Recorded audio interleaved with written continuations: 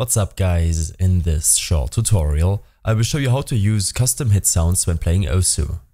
This should be quite an easy tutorial, everything you need will be listed in the description below.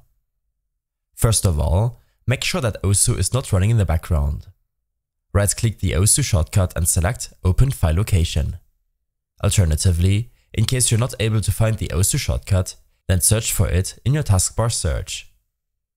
In this folder, navigate to Songs and then select the song in which you want to change the hit sound.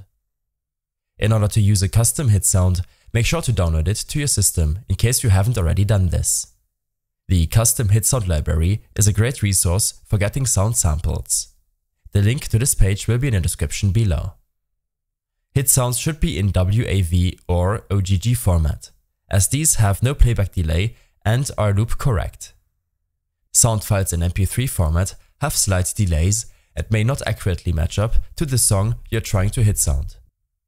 Once the sound files are placed inside the beatmaps folder, they must be named appropriately in order for OSU to recognize them as hit sounds. Three basic categories of hit sounds referred to as sample sets exist in OSU.